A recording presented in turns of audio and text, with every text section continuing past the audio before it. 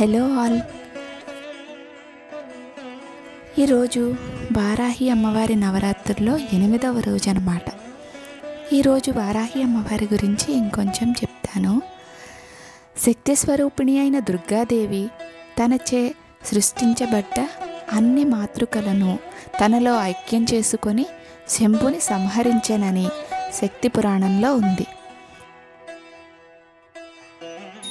వారాహిదేవి అందులో ఒక మాతృక అని చెప్తారు.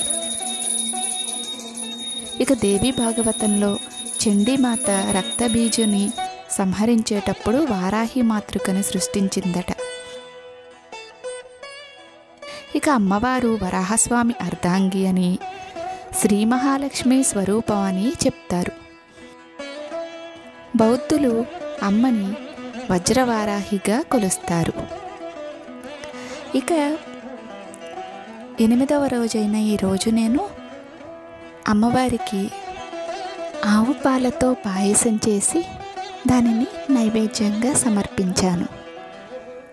ఈ వీడియో కనుక మీకు నచ్చినట్లయితే please like share and subscribe. Thank you for watching.